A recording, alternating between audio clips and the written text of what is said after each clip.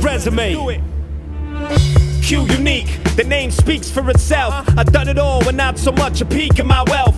I spit off Broadway and ghost written some big hits. Done world tours and put my dick between some big tits. I rhymed in street ciphers and stared at stardom. And opened up a KRS-One at Madison Square Garden. I got raps on wax, hoping Flex Bomb hit ya. I even spit a quick verse at Little Brian's bar mitzvah. I rapped on pop songs, rapped on rock songs, rapped against the block to show pops I was not wrong. I rap when I wasn't born and rap when I had the chance. I rap for some high school kids on a train to Paris, France. Uh-huh. I spit to get pussy and practice safe sex. And spit for a BMI and ASCAP rapper's paycheck. We ain't done Q unique.